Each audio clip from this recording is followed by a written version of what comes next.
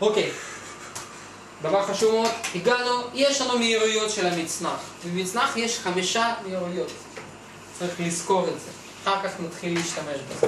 חוץ מזה שאנחנו משפיעים דרך ברקסים על מהירויות הזה, נכון? זוכרים? ב speed system. אוקיי? יש לנו דבר כזה שנקרא trim speed. מהירות טרימרית. צריך לזכור את זה, מה זה trim speed. אנחנו פשוט נשתמש בזה אחר כך, אני אגיד להם trim speed. אוקיי? מה זה טרים ספיד? קודם כל נגיד, מה זה מינימל ספיד? מה זה מהירות המינימלית של מצנח, שיכול לטוס מצנח? פחות ממנה או מזדקר? נכון, אוקיי, מינימל ספיד. למצנחים, ברק למצנחים זה 22-24 קמ"ש, תלוי איזה מצנח. זה מהירות המינימלית. כדי להמריא, אנחנו צריכים להביא במהירות, זה, אני מדבר על מהירות אווירית, אוקיי? אנחנו צריכים להביא, להביא מצנח כדי להמריא למהירות המינימלית 22-24 קמ"ש, אוקיי? תלוי איזה דגל. אם אנחנו נגד הרוח, יש לנו 10 קמ"ש, אז צריך לרוץ סך הכל 10 קמ"ש, 10 קמ"ש, 15 קמ"ש לרוץ כדי להביא מצנח שמצב שהוא מתרומם.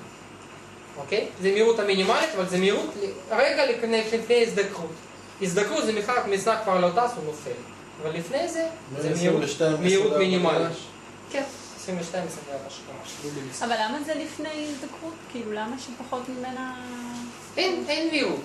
מצנח נופל, אפס. אוקיי. הופך להיות אפס. באתי. אוקיי? ברור? אוקיי. מה זה מהירות המקסימלית? מי יגיד לי? המהירות של ה... זה, איך אמרנו? את זה? המהירות שדיברנו עליה קודם. לא המהירות של הקרקע, המהירות של ה... מהירות מקסימלית, שהמהירות המקסימלית שמצנח יכול לטוס. כן, איך משיגים את המהירות המקסימלית?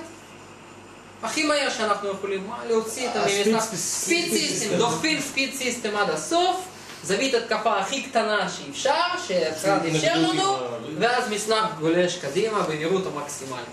כן, זה המהירות המקסימלית.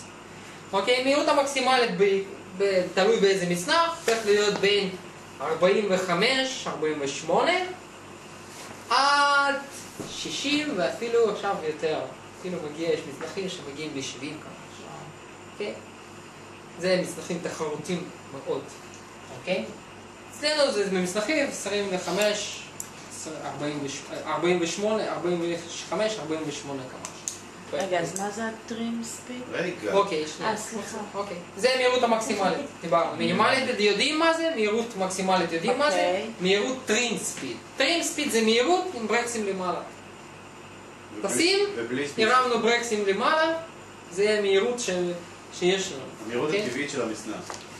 של הטבעית של המצנח, שהרמנו ברקסים למעלה, זה המהירות ספיד. בדרך כלל במצנחים, אני מדבר הכל זה מהירות אווירית בוודאי, אז אה, בלי השפעה של הרוח ולא, זאת אומרת, אה, לא מהירות הקרקעית. כי אם יש השפעה על רוח זה משהו אחר. אבל עם ברקסים למעלה אפשר להגיע לטיפול, לא? לא?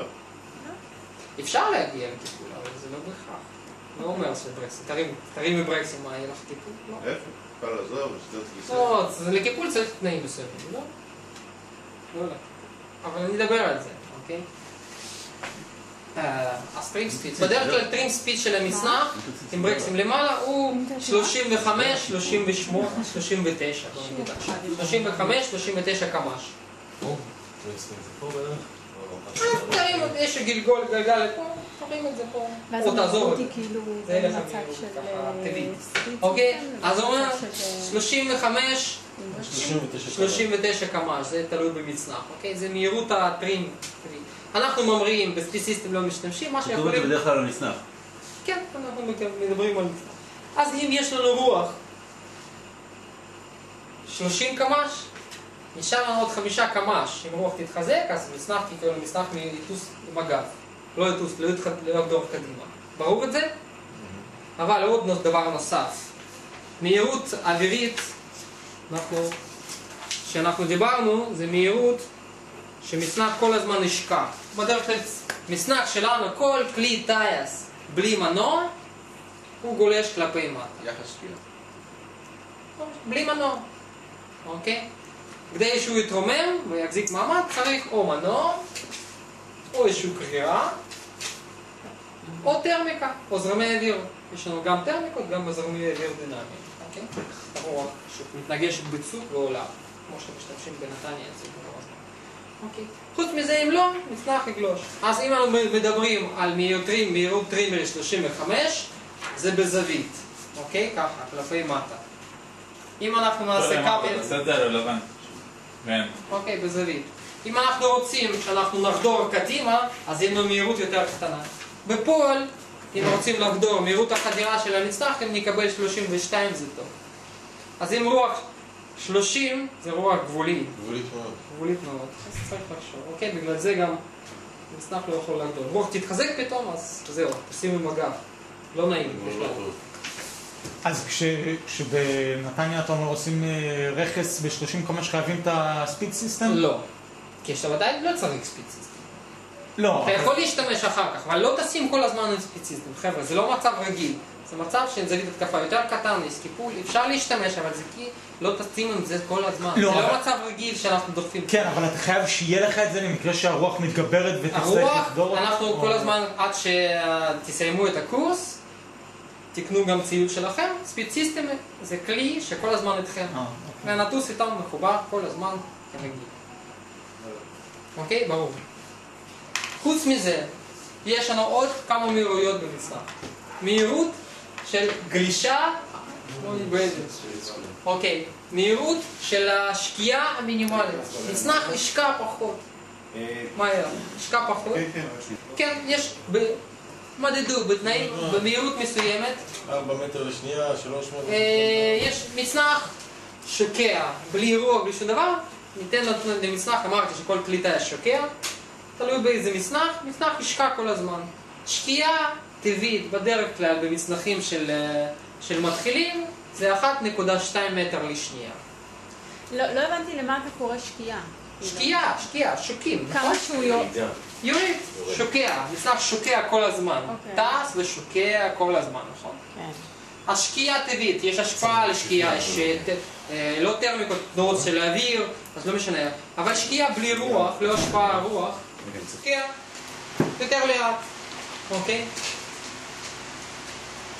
ויש לנו מהירות של גלישה מקסימלית, זאת אומרת מצנח, אנחנו מהגובה מסוים יכולים לגלוש יותר רחוק, אוקיי? יחס בין גובה למרחק. אוקיי.